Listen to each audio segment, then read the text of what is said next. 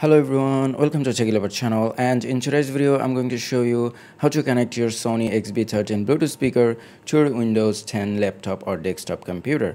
Now the first thing you need to do is go to start and then go to settings.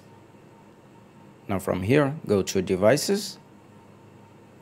Now from here if your Bluetooth is turned off you can just turn it on by pressing this toggle button here. And once your Bluetooth is turned on click on this plus icon here.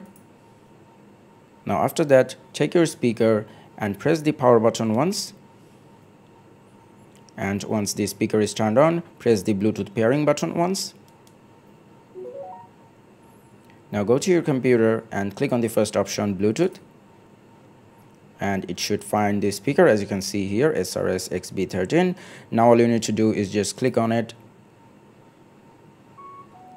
and as you can see that it is connected at this point you can just click on done and your device is connected to your computer. And that's it for today. I hope this video was helpful. If it was please give it a thumbs up and don't forget to subscribe